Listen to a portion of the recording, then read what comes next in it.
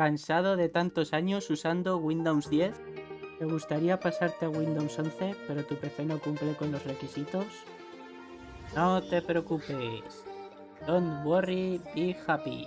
Porque en este vídeo voy a enseñarte a cómo actualizar a Windows 11. Pero lo verí ese vídeo no lo subiste ya. Sí, pero en este vídeo vamos a actualizar conservando todo lo que tenemos, sin ninguna pérdida. Y además sin necesidad de hacer cosas como entrar a la BIOS para cambiar el orden de arranque, todo desde el propio sistema operativo de Windows 10.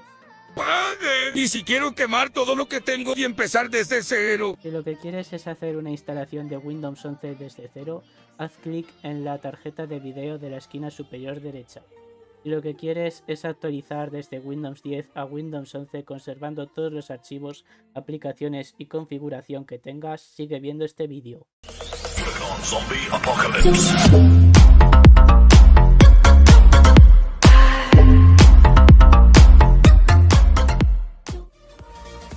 Bueno chicos, lo primero que vamos a hacer para poder actualizar desde nuestro Windows 10 a Windows 11, conservando todos nuestros archivos en aplicaciones y configuraciones, va a ser venir a la web oficial de Microsoft, cuyo enlace vais a poder encontrar en el primer comentario de este vídeo en la descripción, como es habitual en este canal y lo que tendremos que hacer es descargar la ISO de Windows 11 que por cierto si os fijáis nos dice aquí que la versión actual es la de Windows 11 2023 versión 23H2 una actualización muy esperada por todos ya que esta actualización es muy interesante porque trae novedades em, muy útiles como por ejemplo la de Windows Copilot que es la inteligencia artificial que ha estado integrando Microsoft estos últimos meses y la verdad es que eh, tengo muy claras intenciones de hablar sobre Windows Copilot y algunas de las otras novedades, debido a que esto de que puedas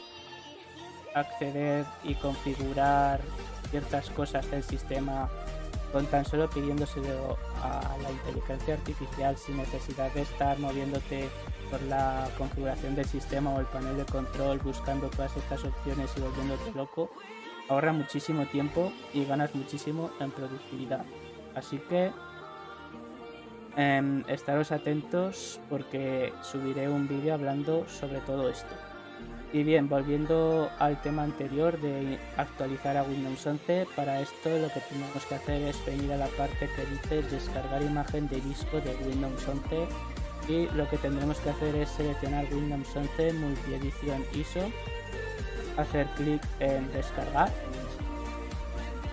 Tendremos que seleccionar la hora idioma, la región, en, nuestro, en mi caso es el español, y hacer clic en confirmar.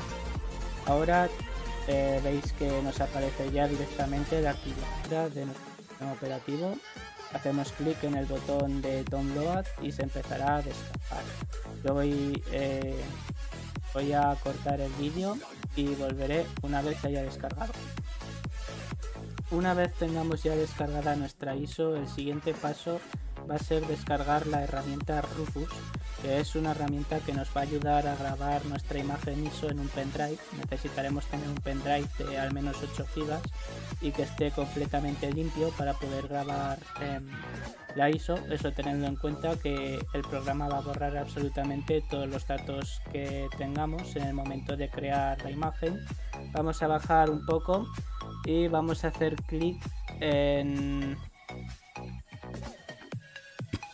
en la última versión en portable mismamente para Windows ahí está ahora vamos a introducir nuestro pendrive en el puerto USB de nuestro ordenador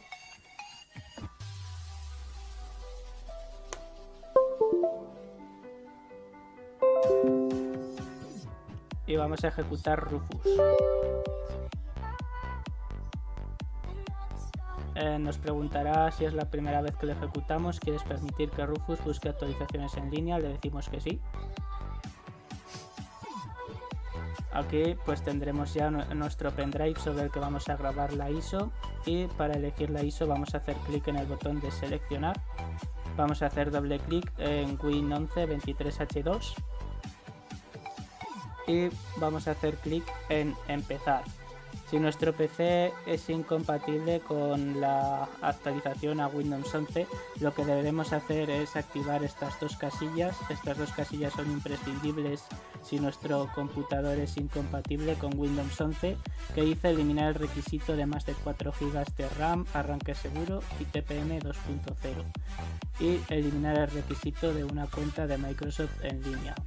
Aquí nos está diciendo que se creará una cuenta local con el mismo nombre de usuario que tengamos ahora mismo. Em, establecer las opciones regionales en los mismos valores que las de este usuario. Deshabilitar la recopilación de datos. Omitir preguntas de privacidad. Y deshabilitar el cifrado automático de dispositivos BitLocker. En mi caso le voy a dar a esta casilla también.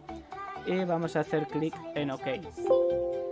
Aquí nos aparecerá el mensaje de que va a eliminar todos los datos si tenemos alguno en el pendrive.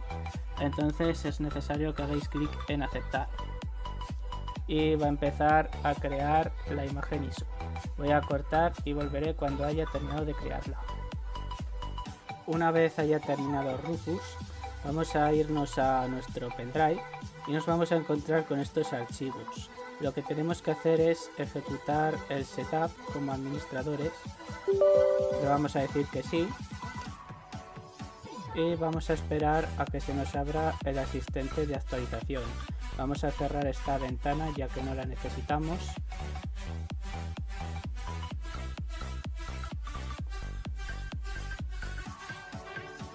Simplemente vamos a esperar a que se cargue.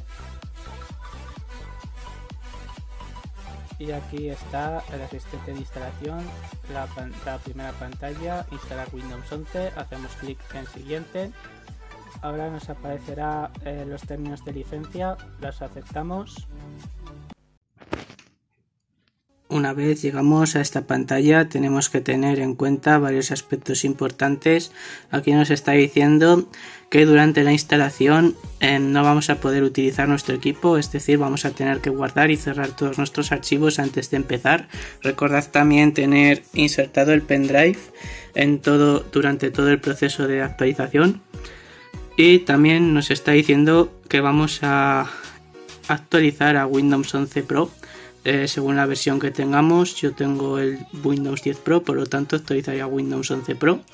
Y también nos está diciendo que vamos a conservar todos nuestros archivos y aplicaciones, puesto que vamos a hacer una actualización, es decir, vamos a conservar todo. Podéis hacer clic en este enlace y os saldrán tres opciones para elegir si queréis conservar todo, solo las aplicaciones o nada. En nuestro caso lo que me interesa es conservarlo todo, así que no voy a tocar nada y simplemente le voy a hacer clic en el botón de instalar. Y ya nos aparecerá esta ventanita ahí diciendo que se va a que se está instalando Windows 11 actualizando. Entonces vamos a esperar a que se haga la actualización. se reiniciará varias veces el equipo pero bueno, simplemente no vamos a tocar nada y vamos a esperar a que se actualice. Y cuando se haya actualizado, em, volvemos. Si nos aparece este mensaje, eh, retiraremos el pendrive y haremos clic en sí, ya que es posible que estemos arrancando desde el USB. Como veis pone que está trabajando en las actualizaciones, lleva un 30%, simplemente vamos a esperar a que termine. Y bueno, una vez finalice el proceso, como veis ya tenemos Windows 11 con todas las aplicaciones, archivos y configuración que teníamos en Windows 10. Vamos a ver que estamos en la última versión. Para ello vamos a escribir aquí eh, aunque igual tengo que escribirlo dentro de ejecutar. Si escribimos aquí Win, Winber y pulsamos en aceptar, como vemos ya estamos en la versión 23H2, que es la última de todas hasta el día de hoy. Bien, si os ha gustado este vídeo me encantaría que me dejaseis un fuertísimo like, suscribiros y activar la campana para estar al tanto de todo mi contenido. Un saludo y hasta la próxima.